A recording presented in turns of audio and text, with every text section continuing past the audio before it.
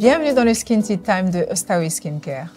Je suis Natacha Pogam, la fondatrice de Ostawi Skincare. Alors aujourd'hui, j'ai avec moi, j'ai le plaisir même de vous introduire Philippe Pisserel qui, vient, qui nous vient tout droit de Marseille et qui va nous parler de problèmes de peau.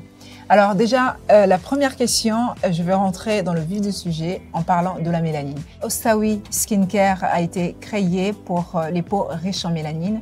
Philippe, tu as été là depuis le, début de ce projet, donc j'aimerais que tu nous en dises un peu plus au sujet de la mélanine. La mélanine est un pigment qui participe avec d'autres pigments à la coloration de la peau. Hmm. En général, on va distinguer le mélanine, qui est un pigment donc foncé, hmm.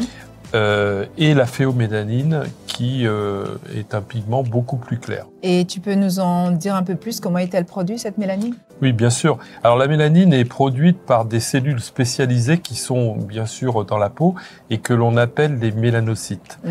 Alors ces mélanocytes, euh, on en a à peu près le même nombre quel que soit le type de peau. Ce qui va distinguer les peaux claires des peaux foncées, c'est euh, les mélanosomes qui sont des vésicules qui contiennent cette mélanine après synthèse.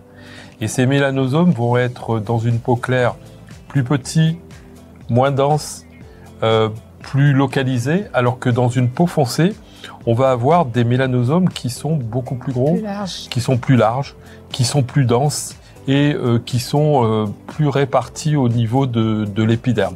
En parlant de mélanine, on a, comme on peut classer par exemple des couleurs mm. euh, par rapport à un nuancier, on classe euh, les différents types de peau selon ce que l'on appelle des phototypes. Alors il y a six phototypes différents, du plus clair au, plus foncé. Et dans chaque phototype, on va avoir des nuances différentes, ce qui fait qu'on comprend la diversité importante en fait des couleurs de peau qu'il existe euh, pour tous les individus sur Terre. Et c'est quoi son rôle, en fait, la mélanine dans le corps?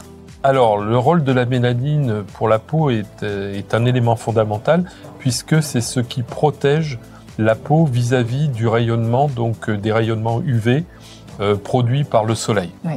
Donc, il y a une protection vis-à-vis du vieillissement cutané, mais également une protection vis à -vis de l'apparition de certains cancers de la peau.